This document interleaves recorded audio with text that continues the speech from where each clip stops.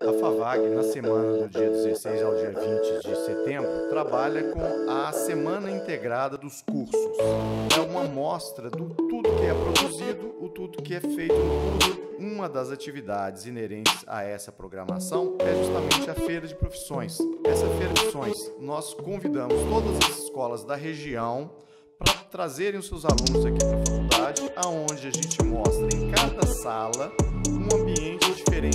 Cada curso com as suas mostras, o que, são feitos pelo curso, o que está acontecendo.